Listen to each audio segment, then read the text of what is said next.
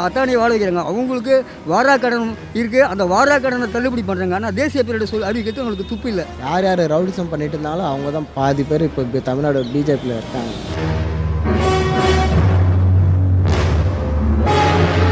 பத்தொன்பது லட்சத்து இருபதாயிரம் பேர் குஜராத்ல போதைப் பொருளுக்கு அடிமையாகி இருக்கிறதா? புள்ளி விவரங்கள் வெளியாயிருக்கு. ஜம்மாடியோ குஜராத் மாடல் தலை சுத்த வைக்குதுங்க.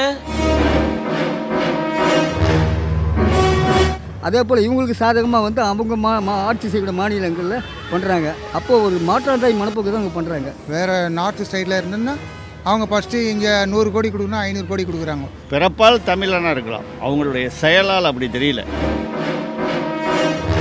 இந்த பிரதமர் வந்து ராகுல் காந்தி வரலாங்க. ராகுல் காந்தி வரலாங்க. ராகுல் காந்தி வரணும். அடுத்து இப்போ பிரதமர் தான் ராகுல் காந்தி தான் நல்லாயிருக்கும்.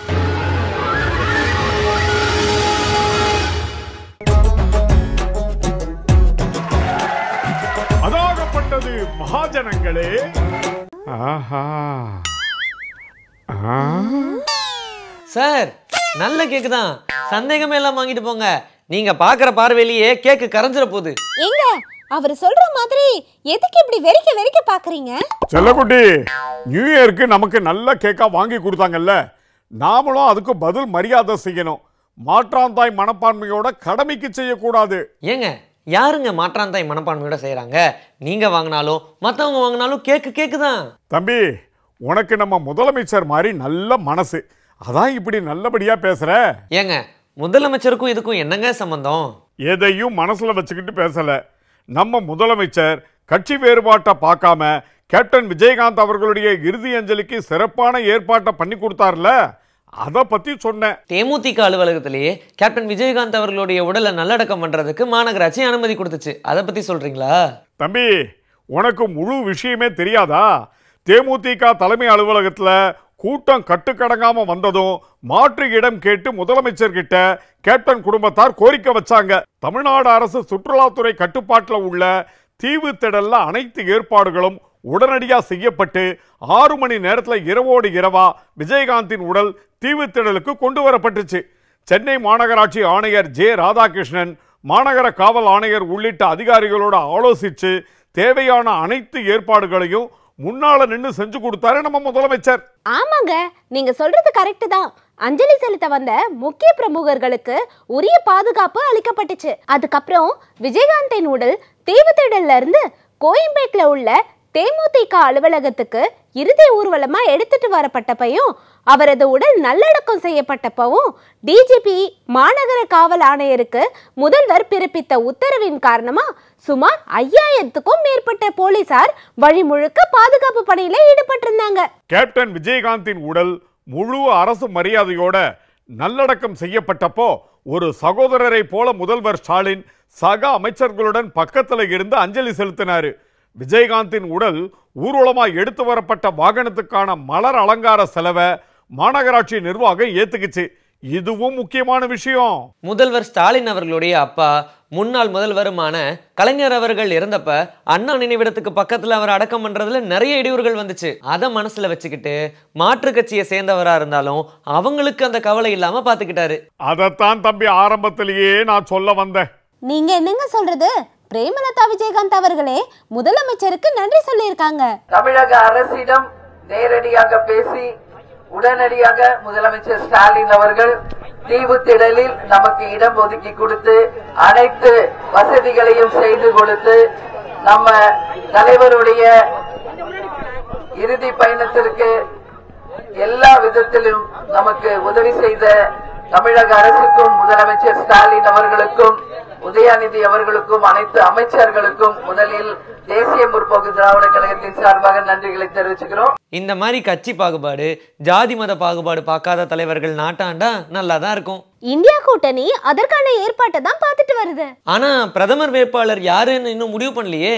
தம்பி அது சரியான நேரத்துல சரியான முடிவா இருக்கும் எதுக்கு இப்ப அவசரப்படுறீங்க? ராகுல் காந்தி அவர்கள் பிரதமரா வரணுங்கிறது பலரோட எதிர்பார்ப்பா இருக்கு. ஏற்கனவே அவர் நடத்துற பாரத் ஜோடோ யாத்திரை திரும்பவும் நடத்த போற பாரத் நியாய் யாத்திரை இதெல்லாம் நாட்டு மக்கள் மத்தியில பெரிய எழுச்சியை ஏற்படுத்தி இருக்கு. ஏற்படுத்தவும் போகுது. நீ சொல்றது கரெக்டு தான் செல்லம். இத மனசுல வச்சுதான் பல தலைவர்கள் கருத்து சொல்றாங்க. அதுல கர்நாடக முதலமைச்சர் சித்தராமையாவும் ஒருத்தர். அப்படியா? சித்தராமையா என்னங்க சொல்லியிருக்காரு இந்த நாட்டின் பிரச்சனைகளை தீர்க்கும் வலிமை காங்கிரஸ் கட்சிக்கு மட்டுமே இருக்கு. அதுக்கு ராகுல் காந்தி நாட்டின் பிரதமராக வர வேண்டும் அப்படின்னு சொல்லியிருக்காரு.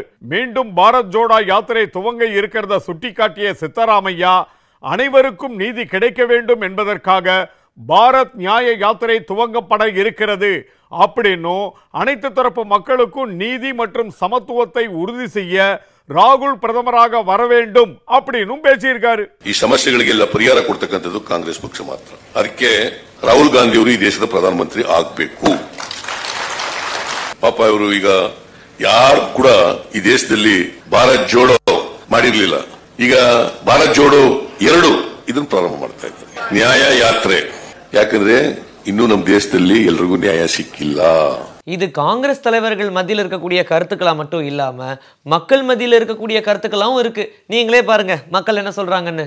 அடுத்த பிரதமர் வந்து ராகுல் காந்தி வரலாங்க. ராகுல் காந்தி வரலாங்க. ராகுல் காந்தி வரணும் வரணும். ஏன்னா ஆஞ்சு ஸ்டேஜ் ஒரு பத்து ஆண்டுகளில் எந்த ஒரு தொழில் முன்னேற்றமும் கிடையாது. இளைஞருக்கு வேலைவாய்ப்புன்னு சொல்ல சொல்லுங்க. இப்போது காங்கிரஸ் காங்கிரஸ் கம்பெனியில் தான் இன்றைக்கி சாஃப்ட்வேர் ஒவ்வொரு கொடுத்த பேட்லேயும் இன்றைக்கி சாஃப்ட்வேர் வேலை செய்கிறாங்க ஒவ்வொரு எல்லா குடும்பத்துலையும் சாஃப்ட்வேர் வேலைன்னு ஒரு கொண்டாந்தாங்க. அது காங்கிரஸ் பில்லில் வந்துச்சு. இந்த கவர்மெண்ட்டில் ஒரு தொழில் வந்து சொல்ல முடியுமா? அடுத்த பிரதமராக ராகுல் வர்றதுக்கு கொஞ்சம் வாய்ப்புகள் இருக்குது அடுத்து இப்போ இப்போ பிரதமர் தான் ராகுல் காந்தி தான் நல்லாயிருக்கும். இதை வந்து மீண்டும் நான் உறுதியாக சொல்கிறேன் ராகுல் காந்தி மட்டும் பிரதமர் ஆனால் தான் இந்தியா தப்பிக்கும். இல்லைன்னா இந்தியா வந்து மிகப்பெரிய கேள்விக்குரிய இந்தியா என்ற ஒரு நாடு இருக்காதுன்றது மிக தாழ்மையான வேண்டுகோள். எனக்கு தெரிஞ்ச வரலும் ஒன்று பிரியங்கா காந்தி இல்லை ராகுல் காந்தி. ரெண்டு பேரில் இளவட்டிங்க அதுக்கு தானே கர்நாடக முதலமைச்சர் கருத்து மக்கள் கருத்தோட ஒத்துப்போகுது. கர்நாடகாவில் எடியூரப்பா தலைமையிலான பாஜக ஆட்சி நடந்தப்ப நாற்பதாயிரம் கோடி ரூபாய்க்கு ஊழல் நடந்திருக்கிறதா? அதே கட்சியை சேர்ந்த சட்டமன்ற உறுப்பினர் குற்றம் சுமத்தினார்ல. ஆமாங்க. கொரோனா காலகட்டத்தில் மாஸ்க் வாங்குறதுலயும் படுக்கையை வாடகைக்கு எடுக்கிறதுலயும் கொள்ளை அடிச்சுக்கிறதா சொல்லியிருக்காரு. அதேதான். அந்த விவகாரத்திலையும் மக்கள் இப்ப கொந்தளிப்பா இருக்காங்க. மக்கள் சொன்ன கருத்துக்களை நீங்களே பாருங்க. ஊழலின் உச்சக்கட்டமே வந்து பிஜேபி தான். டிமானிட்டைசேஷன் இந்தியாவின் வந்து மிகப்பெரிய ஊழல். அவங்க வந்து எல்லாத்தையுமே வந்து யூனியன் இதை வச்சு எல்லாத்தையுமே வெளியோட வராமல் ரஃபேலேருந்து எல்லாமே ஊழல் தான். பிஜேபியை பொறுத்தவரை ஆல் எவ்ரி திங் இஸ் இது வந்து குஜராத்திகளுக்கான அரசு. It is run by to Gujaratis for another to Gujaratis common பீப்புளுக்கானதே கிடையாது. ஆருத்ரா நிறுவனம் இருக்குது அவங்க மாட்டினா இங்கே டி நகர் தான் ஆருத்ரா நிறுவனம். கண்ணு பட்ட பிள்ளைங்க நெல்லிக்கனே தெரியலையா? இப்போ அத்தானி வாழ வைக்கிறாங்க. அவங்களுக்கு வாரா கடன் இருக்குது அந்த வாரா கடனை தள்ளுபடி பண்ணுறாங்க ஆனால் தேசிய பேரிடர் சொல் அறிவிக்கிறது அவங்களுக்கு துப்பு இல்லை. ஊழல கட்சின்னு சொல்கிறாங்க இப்போ தமிழ்நாடு பிஜேபி பற்றி எடுத்தீங்கன்னா அதில் யார் ஒருத்தர் நேர்மையாரன்னு சொல்லி பாருங்க. முக்கால்வாசி பேர் பார்த்தீங்கன்னா இப்போ யார் யார் ரவுடிசம் பண்ணிட்டு இருந்தாலும் அவங்க தான் பாதி பேர் இப்போ தமிழ்நாடு பிஜேபியில் இருக்காங்க. இப்போ அண்ணாமலை அவர் வந்து ஏதோ குடிசையில் இருக்காருன்னு சொன்னார். அவருடைய குடிசையோட பார்த்துருக்கீங்களா? அதோட வேல்யூ எப்படியோ பதினஞ்சு கோடி இருபது கோடி போகும். அதுக்கெல்லாம் யார் பணம் கொடுக்குறாங்க? மதுரையில் தோப்பூரில் ஒரு செங்கல் வச்சாங்க. இது வரைக்கும் அது ஆஸ்பத்திரி கட்டுக்கானா இது வரைக்கும் கிடையாது. ஆனால் என்ன சொல்கிறேன் உடனே மத்திய அமைச்சர் சுகாதார அமைச்சர் மதுரையுமே தோப்பூருமே எய்ம்ஸ் எய்ம்ஸ் ஹாஸ்பிட்டல் வந்துச்சு சொல்கிறாங்க எங்கே எங்கே எங்கே காணாமல் இங்கே செய்ய வேணாங்க நீங்கள் உங்கள் ஊரை வடநாட்டில் சொல்லுங்கள் ஒன்றுமே கிடையாது. எல்லாம் போலி போலி போலி போலி முத்திரையை பூரா பறிச்சுக்கிட்டு அரசு மீடியாக்களை பூரா அவங்க என்ன பண்ணுற ஆள் வச்சு மிரட்டி அத்தனை சேலை மிரட்டி ஊடகங்களை பூரா மிரட்டி எல்லாத்தையும் கையில் கொண்டு வந்து எல்லாத்தையும் படுகொலை செஞ்சுட்டாங்க. யார் செஞ்சாலும் தப்பு தப்பு தான். ஆனா எதிர்க்கட்சிக்காரங்க பண்றது மட்டும்தான் ஊழல். நாங்க பண்றது சமூக சேவை அப்படிங்கிற மாதிரி பாஜக காரங்க கொடுக்குற பில்டப் தான். தாங்க முடியல. ஆமா தம்பி. இதுக்கு குஜராத்ல நடக்கிற கூத்தும் ஒரு காரணம். குஜராத்ல கூத்து நடக்குதா? ஆமா தம்பி. காந்தி பிறந்த மண்ணு இப்ப போதை பொருளோட சொர்க்கபுரி ஆயிடுச்சு. குஜராத்தில் புழங்குற போதைப் பொருள்னால ஏற்கனவே பல குற்றச்சாட்டுகள் வந்துகிட்டே இருந்துச்சு. குஜராத் மாடல் குஜராத் மாடல்னு சொல்லியே ஆட்சிக்கு வந்தாங்க. இப்போ குஜராத் போதைப் பொருளுடைய சொர்க்கபுரி ஆயிடுச்சு. இதுதான் குஜராத் மாடலா? ஆமா தம்பி. பத்தொன்பது லட்சத்து இருபதாயிரம் பேர் குஜராத்ல போதைப் பொருளுக்கு அடிமையாகி இருக்கிறதா புள்ளி விவரங்கள் வெளியாயிருக்கு. அதுல அதானியோட தொடர்பும் இருக்கிறதா சொல்லப்படுது. அது மட்டும் இல்லாம குஜராத்தின் ஆயிரத்தி அறுநூறு கிலோமீட்டர் நீளமுள்ள மிக நீண்ட கடற்கரையே போதைப் பொருள் கடத்தலுக்கு வாய்ப்பா அமைஞ்சிருக்கு. இங்குள்ள துறைமுகங்களின் மூலமா தான் போதைப் பொருட்கள் பெருமளவு கடத்தப்படுகின்றன. இந்த போதைப் பொருள் கடத்தல் விவகாரங்கள் மத்திய அரசுக்கு எதிரான பிரச்சாரமாக இப்ப எழுந்திருக்கு. குஜராத்ல கடந்த இரண்டாயிரத்தி இருபத்தொன்னு செப்டம்பர் பதினாறாம் தேதி பெரும் தொழிலதிபர் அதானிக்கு சொந்தமான முந்த்ரா துறைமுகத்தில் சுமார் இருபத்தி ஓராயிரம் கோடி ரூபாய் மதிப்பிலான மூவாயிரம் கிலோ ஹெராயின் போதைப்பொருள் பிடிபட்டது. இந்திய வரலாற்றிலேயே ஒரே சம்பவத்தில் இவ்வளவு பெரிய அளவில் போதைப்பொருள் பிடிபட்டிருப்பது இதுவே முதல் முறை.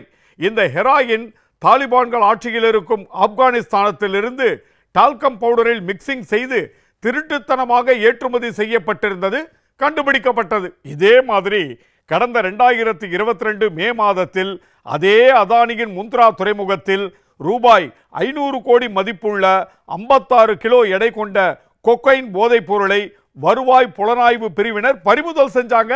குஜராத் மாநிலத்தோட ராஜ்கோட் நகருக்கு பக்கத்துல இருக்கிற மிதிரோகர் கடற்கரை கிராமத்துல எண்ணூறு கோடி ரூபாய் மதிப்பிலான போதைப் பொருள் சிதறி கிடந்ததா கூட செய்தியில படிச்சனே. அது மட்டும் இல்ல கடந்த இரண்டாயிரத்தி பதினெட்டு முதல் ரெண்டாயிரத்தி இருபத்தி ரெண்டு வரை இந்தியாவிலேயே வேறு எந்த மாநிலத்திலும் இல்லாத அளவுக்கு தொண்ணூத்தி மூணாயிரத்தி அறுநூத்தி தொண்ணூத்தோரு கிலோ போதைப் பொருள் குஜராத் மாநிலத்துல கைப்பற்றப்பட்டிருப்பதா தெரிய வந்திருக்கு. ஜம்மாடியோ குஜராத் மாடல் தலை சுத்த வைக்குதுங்க. இன்னும் சொல்றேன் கேளு தம்பி. இதுல குறிப்பா ரெண்டாயிரத்தி இருபத்தி ரெண்டாவது வருஷம் நாடு முழுக்க எழுபத்தோரு கிலோ கொக்கைன் பறிமுதல் செய்யப்பட்டுச்சு. இதுல முப்பத்தொன்பது கிலோ குஜராத் மாநிலத்தில இருந்து மட்டும்தான் கைப்பற்றப்பட்டிருக்கு. நம்ம நாட்டோட நிலைமை ரொம்ப மோசமா போய்கிட்டு இருக்குங்க இதுல அவங்களுக்கு முக்கியமான பிரச்சனை ராமர் கோயில் கும்பாபிஷேகத்துக்கு சோனியா காந்தி அவர்கள் வருவாங்களா மாட்டாங்களா? ஒருவேளை அவங்க வரலனா அதை வச்சு எப்படி அரசியல் பண்ணலாங்கிறதான் அதுக்கும் தான் முறையான விளக்கம் கொடுக்கப்பட்டிருக்கே. அயோத்தி ராமர் கோயில் கும்பாபிஷேகத்துக்கு காங்கிரஸ் தலைவர் மல்லிகார்ஜுன கார்கேயும் மூத்த தலைவர் சோனியா காந்தியும் அழைக்கப்பட்டிருக்கிறாங்க. அப்படின்னும் அவர்கள் செல்வது குறித்து உரிய நேரத்தில் தெரிவிக்கப்படணும். காங்கிரஸ் செய்தி தொடர்பு பொதுச் செயலாளர் ஜெயராம் ரமேஷ் அவர்கள் சொல்லியிருக்காரே. ஆமாங்க. இவங்க மழை வெள்ளத்துல பாதிக்கப்பட்ட மக்களுக்கு உதவி பண்ணாம அதை வச்சு அரசியல் தான் பண்ணுவாங்க. ஆன்மீகத்திலயும் அப்போ அரசியல் தானே பண்ணுவாங்க? ஆனா முதலமைச்சர் ஸ்டாலின் அவர்கள் மழை வெள்ளத்தால் பாதிக்கப்பட்ட மாவட்ட மக்களுக்கு சேதமடைந்த வீடுகள் உள்ளிட்ட பிரச்சனைகளை சரி செய்யறதுக்கு ஆயிரம் கோடி ரூபாய் மதிப்புல நிவாரண தொகுப்பு வழங்கப்படும்னு அறிவிச்சிருக்காரு. மத்திய அரசாங்கம் இதை தேசிய பேரிடராகவும் அறிவிக்கல. கூடுதல் நிதியும் மத்திய அரசாங்கத்துக்கிட்ட இருந்து கிடைக்கல. இதை பத்தி மக்கள் என்ன கருத்துக்கள் சொல்றாங்க? நீங்களே பாருங்க. இந்த பேரிடருக்கு வந்து கண்டிப்பாக வந்து எல்லாருக்கும் கொடுத்து தான் ஆகணும். கவர்மெண்ட்டுக்கு இவங்க கொடுக்க மாட்டேன்னு சொல்கிறது மகா தப்பு அது. அதாவது அவங்க நிதி மினிஸ்டர் இருந்தால் கூட அது சொல்வதற்கான அதிகாரமும் உரிமை அவங்களுக்கு கிடையாது. தேசிய பேரிடர் அந்த இது இருக்குது பார்த்தீங்களா அவங்களுக்கு தான் இருக்குது அது தப்புங்க. அவங்க சொன்னது தப்பு. கவர்மெண்ட் ஆஃப் இந்தியா தான் அதை கொடுக்கணும். வெக்கக்கேடான செயல். நம்ம நாட்டில் இருந்து தமிழ்நாட்டில் இருந்து அங்கேருந்து இவ்வளோ பேர் கஷ்டப்படுறாங்க. எவ்வளோ கண்ணு அவங்க பால் தண்ணி எதுவுமே சாப்பாடு எதுவுமே இல்லாமல் இவ்வளோ கஷ்டப்பட்டு எல்லாமே இழப்பு எழுந்து கட்சியில் நம்ம தமிழ்நாட்டுக்கு அவங்க கொடுக்காத இருக்குது. அதே வேறு ஸ்டேட் எதாவது இருந்தால் அவங்க ஃபஸ்ட்டு அதை பண்ணுவாங்கல்ல.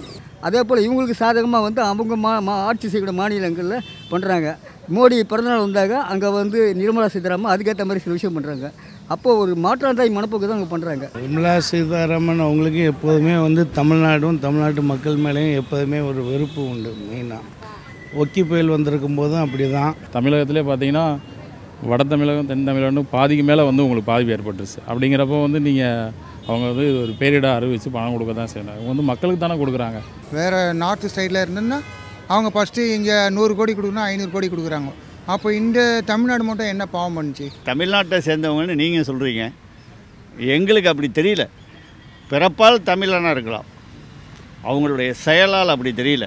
இங்கே தூத்துக்குடியில் அவ்வளோ பெரிய பேரிடர் அவ்வளோ பெரிய பெரிய ரொம்ப கஷ்டமான ஒரு நான் தூத்துக்குடியில தான் வாடுறேன் மிடில் கிளாஸ் இருந்து எல்லாத்துக்குமே பாதிப்பு. இப்போ பாதிக்கப்பட்டவங்க வந்து சென்னையிலே உங்களுக்கே தெரியும். இதை வந்து இப்போ எனக்கே ஒரு பார்த்தீங்கன்னா தென் தமிழகம் தான். அவ்வளோ பாதிப்பு ஏற்பட்டு இன்னும் வந்து பாதி பேர் வந்து ஆத வாழ்வாதாரமே இல்லாமல் இருக்கிறாங்க. அப்படிங்கிறப்போ அவங்க தேசிய பேரிட அறிவித்து வந்து கொடுக்கணும் தான். முதல்ல பார்க்காம சொன்னது வந்து அது ஆணவத்தின் உச்சக்கட்டம். அது வந்து தமிழ்நாடும் தமிழ்நாடு மக்களும் அவங்களுக்கு என்றைக்குமே வெறுப்பு தான். ஆமா தம்பி மக்கள் கடும் கோபத்தில் இருக்காங்க. இன்னொரு விஷயம் சொல்றேன் கேளுங்க. நம்ம ஆளுநர் ரவி முதலமைச்சர் ஸ்டாலின் அவர்களை சந்திச்சு பேசியிருக்காரு. கவனிச்சிங்களா? ஆமாங்க. ஆளுநர் முதலமைச்சரோட கலந்து பேசி சுமூகமா நடந்துக்கணும்னு உச்சநீதிமன்றம் அறிவுறுத்தி இருந்துச்சு அந்த அடிப்படையில தான் இன்னைக்கு சந்திப்பு நடந்திருக்கு. சரிங்க. கேக் ரொம்ப நேரமா வெளியே இருக்கு. அது உருகி ஊத்துறதுக்குள்ள கேக்க பார்சல் பண்ண சொல்லிடுறேன். தம்பி பார்சல் எல்லாம் வேண்டாம். எங்களுக்கு கேக் கொடுத்தாருன்னு சொன்னல அவருக்கு சக்கரை வியாதிப்பா. அப்புறம் ஏன் கேக்க முழுங்குற மாதிரி பார்த்துட்டு இருந்தீங்க? அது வந்து தம்பி எனக்கும் சக்கரை வியாதி இருக்கு. கேக்கு சாப்பிட முடியாது. அதான்.